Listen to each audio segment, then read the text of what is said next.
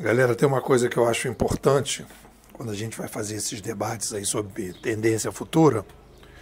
Eu lembro muito daquele projeto que teve, que foi aquele projeto do é, Second Life, e eu logo percebi que aquilo ali não ia para frente. As pessoas investiram naquilo e colocaram grana, e cada loja começou a criar uma espécie de lojinha no Second Life, e os caras começaram a vender aquilo.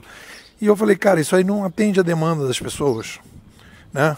Então, assim, se a gente não entende a demanda, a gente não é capaz de entender quando uma determinada oferta aparece, se aquela oferta vai cair na graça das pessoas ou não, que é o que interessa. Então, eu acho que o pessoal aqui do Grupo VIP já está caminhando na direção de uma inteligência competitiva, né? Já é um primeiro passo de formação na inteligência competitiva. E o que eu chamo a atenção é não olhar para as ofertas. Ai, que oferta bacana isso aqui, vai bombar, não sei o quê. Não, peraí. Qual é a demanda que existe? Qual é a demanda que a gente tem nesse processo? Então, hoje, qual é a demanda? demanda. A gente tem um aumento, aí no, no termo macro, a gente tem um aumento demográfico gigantesco. Esse aumento demográfico gigantesco, as pessoas, como uma espécie assim de demanda humana específica, elas querem mais qualidade, e qualidade significa personalização, né?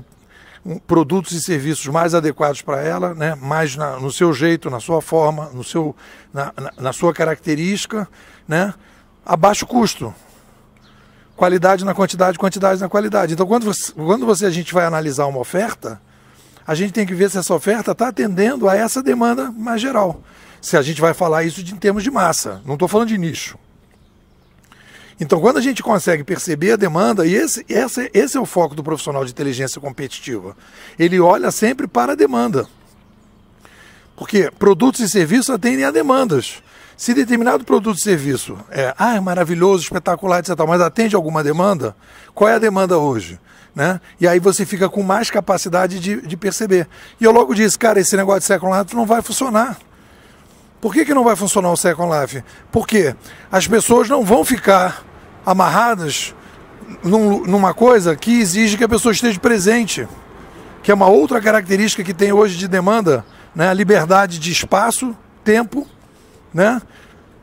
e de tempo. As pessoas não querem ficar amarradas nem com tempo nem com espaço. De qualquer lugar, as pessoas querem a qualquer hora resolver os seus problemas. Então não é assim, todo mundo vai junto, todo mundo vai entrar no mesmo momento, etc. Tal. Aí sim tem um pouco a característica do Netflix que entra que atende uma determinada demanda, né? que, é um, que é um salto de qualidade em relação à Globo, que a gente chama aí de gestoria, digamos. Né? Por quê? Porque ali você define, define a série que você quer ver, que horas que você quer ver e o ritmo que você quer ver. Como é o nosso curso aqui. Né? Esse curso que a gente está fazendo, que vocês fizeram, que eu estou fazendo agora, estou acompanhando. Tem gente que faz no fim de semana, tem gente que leva dois meses, tem gente que leva três meses, cada um tem um tempo. E isso tem que ser respeitado, cada um faz de um determinado lugar. Não tem necessidade de montar uma turma num lugar e etc, etc. Não quer dizer que isso não tenha necessidade em alguns momentos numa, numa situação. Mas a demanda geral exponencial é um pouco por aí. O que, que vocês me dizem?